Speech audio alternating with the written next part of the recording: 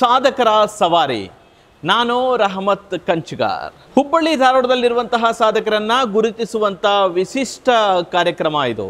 Right click Kannada ಹಮ್ಮಿಕೊಂಡಿರ್ತಕ್ಕಂಥ ಒಂದು ಸಾಧಕರನ್ನ ನಾವು ಹುಡುಕುವಂತಹ ಒಂದು ಈ ಒಂದು ಕಾರ್ಯಕ್ರಮ ಏನಿದೆ, ಅವಳಿ ನಗರದಲ್ಲಿರುವಂತಹ ವಿಶಿಷ್ಟ ಸಾಧನೆ ಮಾಡಿರುವಂತಹ ಸಾಧಕರನ್ನ ರೈಟ್ ಕ್ಲಿಕ್ ನಿಮ್ಮ ಮುಂದೆ ತರುತ್ತೆ. ಇವತ್ತು ನಮ್ಮ ಜೊತೆ ಇರುವಂತಹ ವಿಶಿಷ್ಟವಾಗಿರುವಂತಹ ಅತಿಥಿ ನಮ್ಮ ಜೊತೆಗಿದ್ದಾರೆ. ಮಾಲತೇಶ್ ನಮ್ಮ ಜೊತೆಗಿದ್ದಾರೆ. ಈ ಕಾರ್ಯಕ್ರಮಕ್ಕೆ ಸ್ವಾಗತವನ್ನ ಕೋರ್ತಾ ಇದ್ದೇನೆ ಮಾಲತೇಶ್ ಅವರೇ. ಮಾಲತೇಶ್ ಅವರು ಅಂತಿಂಥ ವ್ಯಕ್ತಿ ಅಲ್ಲ ಅಂತಿಂಥ ವ್ಯಕ್ತಿತ್ವ ಅಲ್ಲ. ಯಾಕಂದ್ರೆ ಮಾಲತೇಶ್ ಅವರಿಗೆ ಬಹುಶಃ ಮಾಲತೇಶ್ ಅವರೇ ಸಾಟಿ ಅಂತಂತ ಹೇಳ್ಬೋದು. ಕೊರೋನಾ ಕಾಲ ಅದು. ಕೊರೋನಾ ಕಾಲದಲ್ಲಿ ಯಾರ್ಯಾರ ಪರಿಸ್ಥಿತಿ ಹೇಗಿತ್ತು ಯಾರ್ಯಾರ ಸಂಕಷ್ಟ ಹೇಗಿತ್ತು ಅಂತೇಳಿ ಪ್ರತಿಯೊಬ್ಬರಿಗೂ ಕೂಡ ಗೊತ್ತಿದೆ. ಅದು ಎಷ್ಟೋ ಜನರ ಬದುಕು ಬೀದಿಗೆ ಬಂದಿರುವಂತಹ ಒಂದು ಉದಾಹರಣೆ ಇದೆ. ಅದು ಎಷ್ಟೋ ಜನರ ಬದುಕು ಬಸವಳಿದಿರ್ತಕ್ಕಂಥ ಉದಾಹರಣೆಗಳು ಸಾಕಷ್ಟು ಇದೆ. ಸೊ ಈ ತರದ ಒಂದು ವ್ಯವಸ್ಥೆಯಲ್ಲಿ ಖಾಲಿಯಾಗಿರುವಂತಹ ಕೈಗಳಿಗೆ ಉದ್ಯೋಗ ಕೊಟ್ಟು ನಿರುದ್ಯೋಗಿಗಳಿಗೆ ಉದ್ಯಮಿ ಮಾಡಿರುವಂತಹ ಒಂದು ಖ್ಯಾತಿ ಮಾಲತೇಶ್ ಅವರಿಗೆ ಸಲ್ಲುತ್ತೆ. ಹೀಗಾಗಿ ಮಾಲತೇಶ್ ಅವರಿಂದಾಗಿ ಸಾಕಷ್ಟು ಜನ ಉದ್ಯೋಗವನ್ನು ಕಳ್ಕೊಂಡವರು ಕೂಡ ಉದ್ಯಮಿ ಆಗಿದ್ದಾರೆ. ಸೊ ಹೀಗಾಗಿ ಯಾವ ರೀತಿ ಇವರು ಉದ್ಯೋಗ ಕಳ್ಕೊಂಡವರಿಗೆ, ನಿರುದ್ಯೋಗಿಗಳಿಗೆ ಆ ಕೆಲಸ ಹುಡುಕ್ತಾ ಇರುವಂತಹ ಎಲ್ಲ ಯುವಕರಿಗೆ ಯಾವ ರೀತಿ ಉದ್ಯಮಿ ಮಾಡಿದ್ದಾರೆ, ಯಾವ ರೀತಿ ಸ್ವಾವಲಂಬಿ ಮಾಡಿದ್ದಾರೆ ಅಂಥೇಳಿ ಅವ್ರಿಗೆ ಕೇಳಿ ತಿಳ್ಕೊಳ್ಳೋಣ. ಮಾಲ್ತೇಶ್ವರೇ ನಿಮ್ಮ ಪರಿಚಯ ಮಾಡ್ಕೊಳ್ರಿ. ಮತ್ತು ನಿಮ್ಮ ಈ ಒಂದು ನಿಜವಾಗ್ಲೂ ನೀವು ಮಾಡಿರುವಂಥ ಒಂದು ಕೆಲಸ ಏನಿದೆ ಇದು ಎಲ್ಲರೂ ಮೆಚ್ಚುವಂಥದ್ದು ಅದೇ ರೀತಿ ಎಲ್ಲರಿಗೂ ಮಾದರಿಯಾಗಿರುವಂಥ ಒಂದು ಕೆಲಸವನ್ನು ನೀವು ಮಾಡಿದ್ದೀರಿ. ಮಾಲ್ತೇಶ್ವರ ರಹಮತ್ ಸರ್ ಮೊತ್ತ ಮೊದಲು ನಮಸ್ಕಾರ. ನಿಮ್ಮ ಚಾನಲ್ಗೆ ನಮ್ಮನ್ನು ಕರೆದು ನಮ್ಮ ಕಂಪನಿಯನ್ನು ಗುರುತುಪಡಿಸಿಕೊಡುವಂಥ ಜನಾಕ ನಾಲ್ಕು ಜನರಿಗೆ ನಿಮ್ಮ ಸಪೋರ್ಟಿಗೆ ನನ್ನ ಕಂಪನಿಯ ಕಡೆಯಿಂದ ಹೃದು ಹೃತ್ಪೂರ್ವಕ ಧನ್ಯವಾದಗಳನ್ನು ತಿಳಿಸೋಕೆ ಇಷ್ಟಪಡ್ತಾ ಇದ್ದೀನಿ. ಏನಾಯಿತು ಅಂದರೆ ಸರ್ ಕೋವಿಡ್ ಬಂದ ಆದ ನಂತರ ಎಷ್ಟೋ ಜನಗಳು ಪೇಟೆಯಲ್ಲಿ ಗಂಡ, ಹೆಂಡತಿ ಮನೆ ಮಾಡ್ಕೊಂಡು ದುಡ್ಕೊಳ್ತಿರ್ಬೇಕಾದಾಗ ಕೋವಿಡ್ನಿಂದ ವಾಪಸ್ ಎಲ್ಲರೂ ಊರಿಗೆ ಬಂದರು. ಊರಿಗೆ ಬಂದಾದಮೇಲೆ ಮತ್ತೆ ವಾಪಸ್ ಹೋಗಬೇಕು ಅನ್ನೋ ಒಂದು ಛಲ ಬರಲಿ ಯಾಕಂದ್ರೆ ಮತ್ತೆ ಕೊರೋನಾ ಕಂಟಿನ್ಯೂ ಆಗುತ್ತಾ ಏನೋ ಅಂತ ಈ ಥರ ಭಯಗಳಲ್ಲಿ ಏನು ಮಾಡಿದ್ವಿ. ಸೊ ಏನಾದರೂ ಉದ್ಯೋಗ ಹುಡುಕಬೇಕು ಅಂತೇಳಿ ಹೊಲ ಮನೆಗೆ ಹೋಗೋಕೆ ಇಷ್ಟ ಇಲ್ಲ. ಸೊ ಏನಾದರೂ ಉದ್ಯೋಗ ಮಾಡಬೇಕಂತಂದ್ರೆ ಹೊರಗಡೆ ಹೋದ್ರೆ ಐದರಿಂದ ಹತ್ತು ಸಾವಿರಕ್ಕೆ ಸ್ಯಾಲ್ರಿ ಸಿಗಲ್ಲ. ಸೊ ವಯಸ್ಸು ನೋಡಿದರೆ ಇಪ್ಪತ್ತೈದು ಇಪ್ಪತ್ತೈದು ಮೂವತ್ತು ವರ್ಷ ವಯಸ್ಸಿನ ಹುಡುಗರಿದ್ದಾರೆ ಹುಡುಗರು ಹುಡುಗರಿದ್ದಾರೆ ಸೊ ಏನಾದರೂ ಒಂದು ಉದ್ಯೋಗ ಮಾಡಬೇಕು. ಮನೇಲೇ ಕುತ್ಕೊಂಡು ಏನಾದರೂ ಮಾಡೋಕ್ಕಾಗತ್ತಾ ಅನ್ನೋ ಒಂದು ಪ್ರಯತ್ನದಲ್ಲಿ ಅವ್ರೇನು ಏನು ಬಂದರು. ಅವಾಗ ನಾವು ನಮ್ಮ ಟೀಮ್ ಪ್ರಿನ್ಸ್ ಎಂಟರ್ಪ್ರೈಸಸ್ ಟೀಮ್ ಇದೆ, ಒಂದು ಚಾ, ಒಂದು ಚಾಲೆಂಜನ್ನು ತೊಗೊಂಡ್ವಿ. ಸೊ ಇದರಲ್ಲಿ ಒಂದು ಐದುನೂರು ಜನರಿಗೆ, ಸಾವಿರ ಜನರಿಗೆ ನಮ್ಮ ಕಂಪ್ನಿಯಿಂದ ಉದ್ಯೋಗ ನಾವು ಯಾಕೆ ಕೊಡಬಾರ್ದು? ಸೊ ಇದೆಲ್ಲ ವಿಚಾರ ಮಾಡಿದಾಗ ಮತ್ತೆ ಒಂದೆರಡು ಕ್ವಶನ್ಗಳು ನಮಗೆ ಸೇರ್, ಸೇರ್ಪಡಾಯಿತು. ಏನಂತಂದರೆ ಸೊ ಇವತ್ತು ನಾವು ಮಷಿನ್ ಸೇಲ್ ಮಾಡ್ತೀವಿ. ಆ ವ್ಯಕ್ತಿ ಮಾಡಿದಂಥ ಮಟೀರಿಯಲ್ ಸೇಲ್ ಮಾಡೋಕೆ ಆಗದೆ ಇದ್ದರೆ ಅವ್ನು ಫೇಲ್ ಆಗ್ತಾನೆ. ಸೊ ಅದಕ್ಕೆ ಏನು ಮಾಡಬೇಕು? ಸೊ ಆ ವ್ಯಕ್ತಿನ ಕರೆದ್ಬಿಟ್ಟು ಒಂದು ತಾಸು, ಎರಡು ತಾಸು. ಯಾಕಂದರೆ ನಮ್ಮ ಕರ್ನಾಟಕದಲ್ಲಿರೋ ಜನಗಳಿಗೆ ನಮ್ಮ ತಂದೆ, ಅವ್ರ ತಂದೆ ವ್ಯಾಪಾರಸ್ಥರಲ್ಲ. ಸೊ ಈಗ ಅದು ಬಳವಳಿ ನಮಗೆ ಬಂದಿಲ್ಲ. ಸೊ ಅದಕ್ಕೆ ಅವ್ರನ್ನ ನಾವು ಕರೆದು ಬಿಟ್ಟು ಪರಿವರ್ತನ ಫೌಂಡೇಶನ್ ಟ್ರೈನಿಂಗ್ ಸೆಂಟರ್ ಅಂತ ಒಂದು ಟ್ರೈನಿಂಗ್ ಸೆಂಟರ್ ಮಾಡಿದ್ವಿ. ಕಂಪಲ್ಸರಿ ಅವ್ರು ಬಂದು ಮಷಿನ್ ಮುಂದೆ ಇಲ್ಲ ನಮ್ಮ ಮುಂದೆ ಕುತ್ಕೊಂಡು ಒಂದು ತಾಸು. ಮಾರ್ಕೆಟ್ ಹೆಂಗೆ ಮಾಡಬೇಕು ಯಾವ ರೀತಿ ಮಾರ್ಕೆಟ್ ಮಾಡಬೇಕು ಪ್ಯಾಕೆಟ್ ಹೆಂಗೆ ಮಾಡಬೇಕು ಯಾವ ರೀತಿ ಮಾಡಿದ್ರೆ ಯಾವ ಪ್ಲೇಟ್ ಏನು ಮಷಿನ್ ಅದು? ಏನು machine paper plate machine sir paper plate ಈ ಥರ ಮಷಿನ್ಗಳಲ್ಲಿ ಬಹಳ ರೀತಿಯ ಮಷಿನ್ಸ್ಗಳಿದಾವೆ ಅದರಲ್ಲಿ ಮೇಜರ್ ಆಗಿ ಪಾತ್ರ ತೊಗೊಂಡಿದ್ದು ಪೇಪರ್ ಪ್ಲೇಟ್ ಮಷೀನು ಯಾಕಂದ್ರೆ ಯೂಸ್ ಅಂತ ವಸ್ತು ಆಗಿರೋದ್ರಿಂದ ಎಕೋ ಫ್ರೆಂಡ್ಲಿ ಇರೋದ್ರಿಂದ ಅದನ್ನು ಉಪಯೋಗ ಮಾಡಿ ಒಗಿತಾ ಇದೀವಿ ಹೀಗೆ ಜಾಸ್ತಿ ಇರೋದು ಡಿಮ್ಯಾಂಡ್ ಬರುತ್ತೆ. ಯಾಕಂದರೆ ಮನುಷ್ಯನಿಗೆ ಊಟ ತಿಂಡಿ ಬೇಕಾದಾಗ ಪೇ ಪ್ಲೇಟ್ ಕಂಪಲ್ಸರಿ ಬೇಕಾಗುತ್ತೆ. ಹೀಗೆ ಪೇಪರ್ ಪ್ಲೇಟನ್ನು ರೆಡಿ ಮಾಡೋಂಥ ಮಷಿನ್ಸ್ ಕೊಡೋದ್ರ ಜೊತೆಗೆ ಅವ್ರನ್ನ ಎಂಟರ್ಪ್ರನರ್ ಮಾಡಿ ಉದ್ಯೋಗಸ್ಥರನ್ನ ಮಾಡಿ ಅವ್ರ ಒಂದು ಪ್ರತಿ ತಿಂಗಳು ಒಂದು ಇಪ್ಪತ್ತು ಇಪ್ಪತ್ತೈದು ಮೂವತ್ತು ಸಾವಿರ ದುಡಿಬೇಕು. ಸೊ ಆ ಥರ ಒಂದು ವ್ಯವಸ್ಥೆಗಳನ್ನ ಅವರಿಗೆ ನಿರುದ್ಯೋಗಗಳು ದುಡಿಬೇಕು. ಪ್ರತಿ ತಿಂಗಳ ಇಪ್ಪತ್ತರಿಂದ ಇಪ್ಪತ್ತೈದು ಸಾವಿರ ರೂಪಾಯಿ ದುಡಿಯಂಗು ಮಾಡಿದ್ರಿ. ಖಂಡಿತ ಖಂಡಿತ. ಓಕೆ ಯಾವ ತರ ಯಾವ ತರ ಮಾಡ್ತೀರಿ ಅವ್ರಿಗೆ ಯಾವ ತರದ್ದು? ಸೊ ಫಸ್ಟ್ ಅವ್ರು ಬಂದಾಗ ಅವ್ರು ಅವ್ರು ಏನ್ ಮಾಡ್ತಾರೆ? ಏನ್ ಮಾಡಲ್ಲ? ಸೊ ಇಲ್ಲಿಗಿಂತ ಬಂದು ಏನ್ ಕೆಲಸ ಮಾಡ್ತಾ ಇದ್ರು? ಓಕೆ ಸೊ ಯಾವುದೇ ರೀತಿ ಫೀಲ್ಡ್ ಅಲ್ಲಿ ಅನುಭವ ಇದೆ ಅವರಿಗೆ.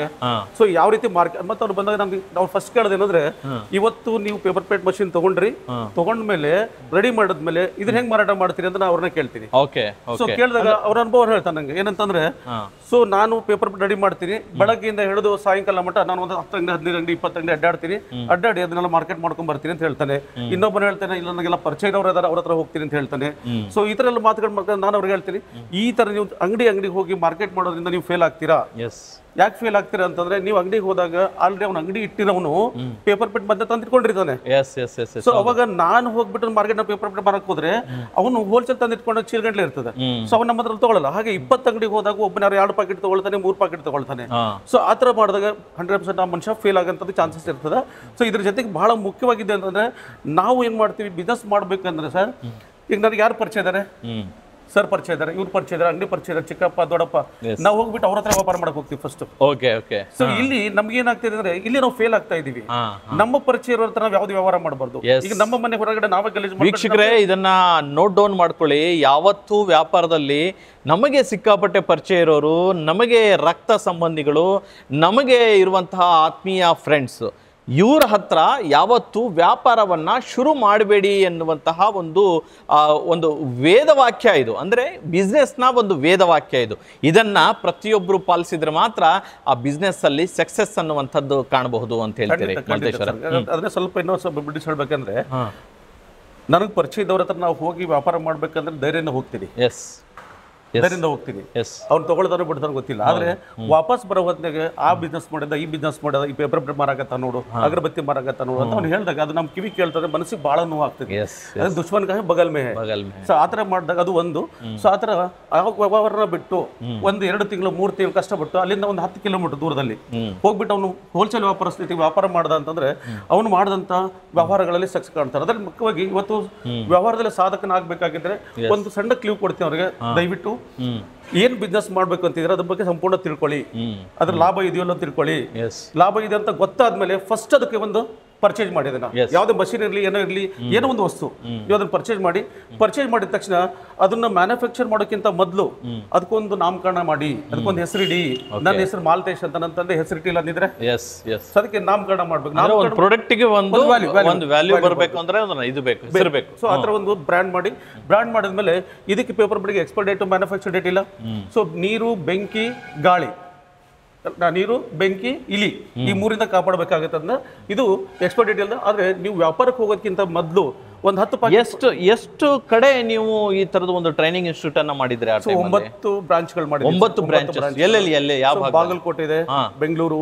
ದಾವಣಗೆರೆ ಆಮೇಲೆ ತುಮಕೂರು ಎಸ್ ಆಮೇಲೆ ಹಾವೇರಿ. ಓಕೆ ಸೊ ಈ ತರದ ಬ್ರಾಂಚ್ಗಳು ಮಾಡಿ ಒಂದೊಂದು ಬ್ರಾಂಚ್ ಅಲ್ಲಿ ಎಷ್ಟು ಜನಕ್ಕೆ ನೀವು ಟ್ರೈನಿಂಗ್ ಕೊಟ್ಟಿದ್ದೀರಿ ಇಲ್ಲಿ ತನಕ? ಸೊ ಆಲ್ಮೋಸ್ಟ್ ಆಲ್ ಒಂದೊಂದು ಬ್ರಾಂಚ್ ಅಲ್ಲಿ ಸರ್ ಪ್ರತಿದಿನ ಜನ ಯೂಟ್ಯೂಬ್ ಅಲ್ಲಿ ನೋಡ್ಬಿಟ್ಟು ಒಂದು ಫೋನ್ ಮಾಡಿ ಬರ್ತಾರೆ.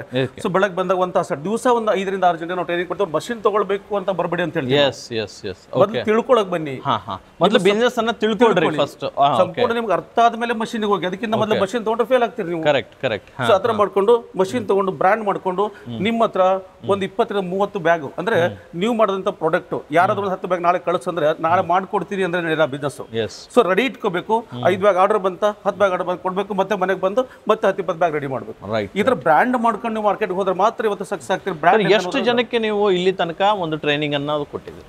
ಸೊ ಆಲ್ಮೋಸ್ಟ್ ಆಲ್ ಈಗ ನನಗೆ ಗೊತ್ತಿದೆ ಸರ್ ಒಂದು ಐದರಿಂದ ಆರು ಸಾವಿರ ಜನರಿಗೆ ನಾನು ಟ್ರೈನಿಂಗ್ ಅನ್ನ ಕೊಟ್ಟಿದ್ದೀನಿ. ಓಕೆ ಅದರಲ್ಲಿ ಒಂದು ಸಾವಿರದಿಂದ ಹನ್ನೆರಡು ನೂರು ಜನ ಮಷಿನ್ ಪರ್ಚೇಸ್ ಮಾಡಿದ್ದಾರೆ ಡಿಫ್ರೆಂಟ್ ಡಿಫ್ರೆಂಟ್ ಮಷಿನ್ ಮತ್ತೆ ಅದರಲ್ಲಿ ನೈಂಟಿ ಪರ್ಸೆಂಟ್ ನನ್ನ ಟ್ರೈನಿಂಗ್ ಅಲ್ಲಿ ಬಂದು ಗೊತ್ತಿರೋರು ಸಕ್ಸಸ್ ರೇಷೋದಲ್ಲಿ ಇವತ್ತಿದ್ದಾರೆ ಸೊ ಅದು ಬೇಕಾದ್ರೆ ಆ ಲಿಸ್ಟ್ ಅನ್ನು ಸಹಿತ ನಿಮ್ಗೆ ಕೊಡ್ತೀನಿ. ಲಿಸ್ಟ್ ಜನಕ್ಕೆ ಪಬ್ಲಿಕ್ ಕೊಟ್ಟಾಗ ಮಾಲ್ತೇಶ್ವರ ವ್ಯವಹಾರ ಮಾಡೋದು ಸಕ್ಸಸ್ ಅಲ್ಲಿ ಇದಾರೆ ಇಲ್ಲ ಅಂತ ಕೇಳಕ್ಕೆ ಅದು ಸಮಾಜಕ್ಕೆ ಒಂದು ವ್ಯವಸ್ಥೆನ ನಾನು ಮಾಡ್ಕೊಡ್ತೀನಿ. ಆದರೆ ಆ ಥರ ಒಂದು ಎಂಟರ್ಪ್ರನರ್ ಆಗಿ ಅದಕ್ಕೆ ಯಾರಾಗ್ಲಿ ತರಬೇತಿ ತಗೊಳ್ಳು ತರಬೇತಿ ತಗೊಳ್ಳೋ ಜೊತೆಗೆ ಸೊ ಬಿಸ್ನೆಸ್ ನಂದು ನಂದು.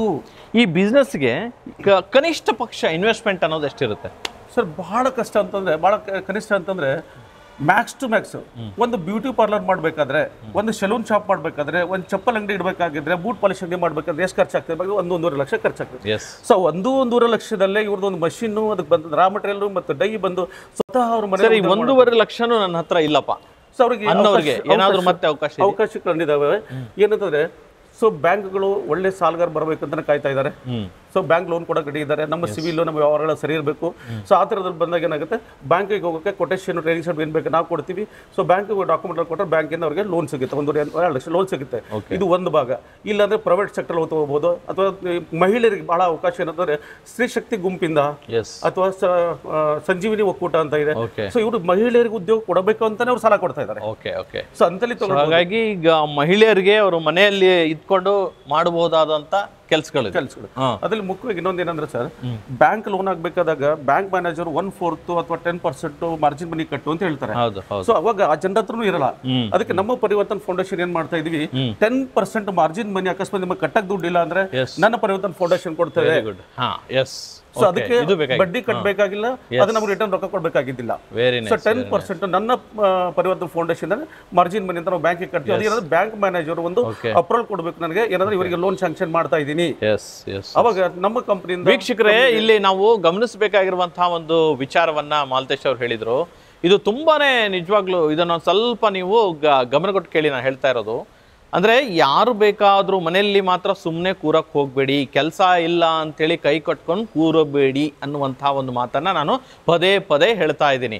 ಒಂದು ಮಹಿಳೆಯರು ಮನೆ ಬಿಟ್ಟು ಆಚೆ ಹೋಗೋಕ್ಕಾಗಲ್ಲ ನಮಗೆ ಅನ್ನೋರಿಗೂ ಕೂಡ ಇದರಲ್ಲಿ ಅನುಕೂಲತೆ ಇದೆ. ಒಂದರಿಂದ ಒಂದೂವರೆ ಲಕ್ಷ ರೂಪಾಯಿ ಇನ್ವೆಸ್ಟ್ಮೆಂಟು ಮ್ಯಾಕ್ಸಿಮಮ್ಮು ಅನ್ನುವಂಥ ಒಂದು ವಿಚಾರವನ್ನು ಅವ್ರು ಹೇಳಿದರು. ಯಾವ ರೀತಿ ಮಷಿನನ್ನು ತಗೊಂಡು ಯಾವ ರೀತಿ ನೀವು ಮಾರ್ಕೆಟಿಂಗ್ ಮಾಡ್ಕೋಬೇಕು, ಯಾವ ರೀತಿ ನೀವು ಸ್ವಾವಲಂಬಿಗಳಾಗಬೇಕು, ಯಾವ ರೀತಿ ಸ್ವಾಭಿಮಾನದ ಬದುಕನ್ನು ನೀವು ಬದುಕಬೇಕು ಅನ್ನುವಂಥದ್ದನ್ನು ಪರಿವರ್ತನಾ ಸಂಸ್ಥೆ ಅದು ನಿಮಗೆ ಟ್ರೈನಿಂಗ್ ಕೊಡ್ತದೆ.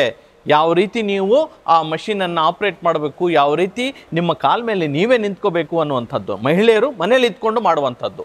ಅದೇ ರೀತಿ ಯುವಕರಿಗೂ ಕೂಡ, ಆ ಮಹಿಳೆಯರಿಗೆ ಬೇರೆ ಬೇರೆ ಒಂದು ಆಪ್ಷನ್ಸ್ ಎಲ್ಲ ಇದೆ. ಅಂದರೆ ಸ್ವಸಹಾಯ ಗುಂಪುಗಳಿದೆ, ಬೇರೆ ಬೇರೆ ಗುಂಪುಗಳು ಕೂಡ ಅವರಿಗೆ ಸಾಲ ಸೌಲಭ್ಯ ಮಾಡಲಿಕ್ಕೆ, ಕೊಡಲಿಕ್ಕೆ ಅವರು ಮುಂದೆ ಬರ್ತವೆ. ಅದೇ ರೀತಿ ಈಗ ಯುವಕರು, ನಿರುದ್ಯೋಗಿ ಯುವಕರು, ಅವ್ರಿಗೂ ಕೂಡ ಅನುಕೂಲ ಆಗುವಂತಹ ಒಂದು ರೀತಿಯಲ್ಲಿ ಬೇರೆ ಬೇರೆ ಯೋಜನೆಗಳೆಲ್ಲ ಇದೆ.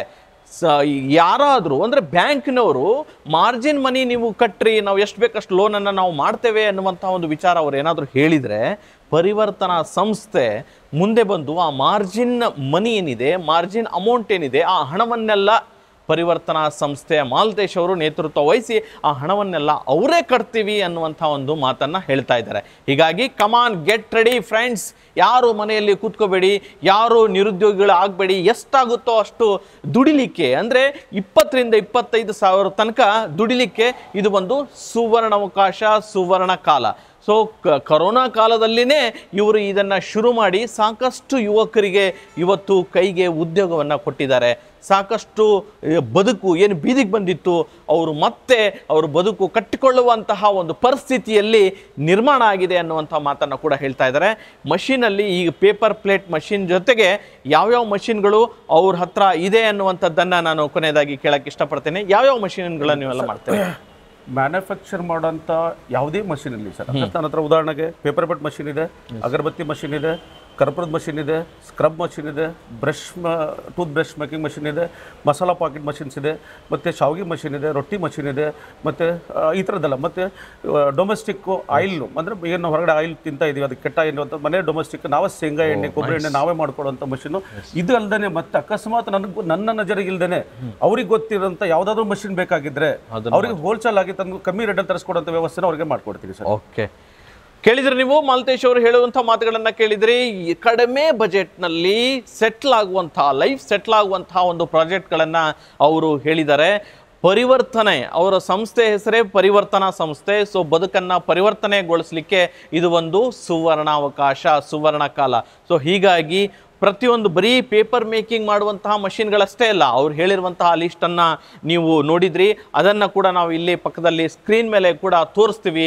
ಇದನ್ನೆಲ್ಲವನ್ನು ನೋಡಿ, ಇದ್ರ ಬಗ್ಗೆ ನಿಮಗೆ ಹೆಚ್ಚಿನ ಮಾಹಿತಿ ಬೇಕಂದ್ರೂ ಕೂಡ ಅವರ ನಂಬರನ್ನು ಕೂಡ ನಾವು ಡಿಸ್ಪ್ಲೇ ಮಾಡ್ತೀವಿ. ನೀವು ನಿಮ್ಮ ಕಾಲ ಮೇಲೆ ನೀವು ನಿಂತ್ಕೋಬೇಕು. ನೀವು ಉದ್ಯೋಗವನ್ನು ಮಾಡಬೇಕು, ನೀವು ನಿಮಗೆ ನಂಬಿರುವಂತಹ ತಂದೆ ತಾಯಿಯನ್ನು ನೀವು ಸಾಕಿ ಸಲಹಬೇಕು. ಮನೆಯಲ್ಲಿ ಗಂಡ ಹೆಂಡತಿ ಇಬ್ಬರು ಕೂಡ ಒಟ್ಟಿಗೆ ಕೆಲಸ ಮಾಡಿ ನಮ್ಮ ಮಕ್ಕಳನ್ನು ಸಾಕಿ ಸಲಹಬೇಕು ಅನ್ನುವಂಥವ್ರಿಗೂ ಕೂಡ ಇದು ಮತ್ತೊಂದು ಅವಕಾಶ ಇದೆ, ಮತ್ತೊಂದು ಸುವರ್ಣ ಅವಕಾಶ ಇದೆ. ಇದನ್ನು ಬಳಸ್ಕೊಂಡ್ರೆ ನಿಮ್ಮ ಬಾಳು ಬಂಗಾರ ಅಂತ ಹೇಳ್ತಾ ನನ್ನ ಮಾತನ್ನು ಮುಗಿಸ್ತೇನೆ. ಈ ಒಂದು ಕಾರ್ಯಕ್ರಮ ನಿಮಗೆ ಇಷ್ಟ ಆದಲ್ಲಿ ದಯಮಾಡಿ ನಮ್ಮ ಒಂದು ಚಾನಲನ್ನು ಸಬ್ಸ್ಕ್ರೈಬ್ ಮಾಡಿ, ಅದೇ ರೀತಿ ಶೇರ್ ಮಾಡಿ. ನಿಮಗೇನೇ ಡೌಟ್ಸ್ ಇದ್ದರೂ ಕಮೆಂಟ್ ಮಾಡೋದು ಮಾತ್ರ ಮರಿಬೇಡಿ. ನಮಸ್ಕಾರ. ಸರ್ ಕೊನೆಯದಾಗಿ ಒಂದು ಜನಗಳಿಗೆ ಒಂದು ಸಂದೇಶ ಕೊಡಬೇಕಂತ ನಾನು ಅನ್ಕೊಳ್ತೀನಿ. ಇವತ್ತು ನೀವು ನಂತರ ಸಾಧಕರಾಗಬೇಕಾಗಿದ್ರೆ ಯಾವುದೋ ಒಂದು ಕಂಪ್ನಿಯಲ್ಲಿ ಕೆಲಸ ಮಾಡೋದ್ರಿಂದ ಸಾಧಕರಾಗಕ್ಕೆ ಕಾಣ್ತಾ ಇಲ್ಲ. ನೀವು ಯಾವುದು ಬಿಸ್ನೆಸ್ ಮಾಡಬೇಕಂತ ಇದ್ದೀರಾ, ನಿಮ್ಮ ಸಣ್ಣ ವಯಸ್ಸಲ್ಲಿ ಪ್ರಾರಂಭ ಮಾಡಿ ನಿಮ್ಮ ಬ್ರ್ಯಾಂಡ್ ಕ್ರಿಯೇಟ್ ಮಾಡ್ಕೊಳ್ಳಿ. ನಿಮ್ಮ ಬ್ರ್ಯಾಂಡ್ ಮುಖಾಂತರ ಒಂದು ವರ್ಷ ಎರಡು ವರ್ಷ ಐದು ವರ್ಷ ನೀವು ಕಷ್ಟಪಟ್ರಿ ಅಂತಂದರೆ ನೀವೊಬ್ಬ ಎಂಪೈರ್ ಆಗಿ ದೊಡ್ಡ ಮನುಷ್ಯನಾಗಿ ವ್ಯಾಪಾರಸ್ಥರಾಗಿ ಮಾರ್ಕೆಟಿಗೆ ಹೊರಗೆ ಹೋಗ್ತೀರಾ? ಸರ್ ಇವತ್ತು ನಮ್ಮನ್ನು ಹೆಂಗೆ ಗುರುತಿಸಿದ್ದಾರೆ ಅದೇ ರೀತಿ ನಿಮ್ಮನ್ನು ಗುರುತಿಸುವಂಥ ಅವಕಾಶಗಳು ಬರಬೇಕಾಗಿದ್ದರೆ ದಯವಿಟ್ಟು ಸ್ವಂತ ಬಿಸ್ನೆಸ್ಗೆ ಇಳಿದು ತಮ್ಮನ್ನು ತಾವು ಸೃಷ್ಟಿ ಮಾಡ್ಕೊಳ್ಳಿ ಅಂತ ನಾನು ಕೇಳ್ಕೊಳ್ತೀನಿ.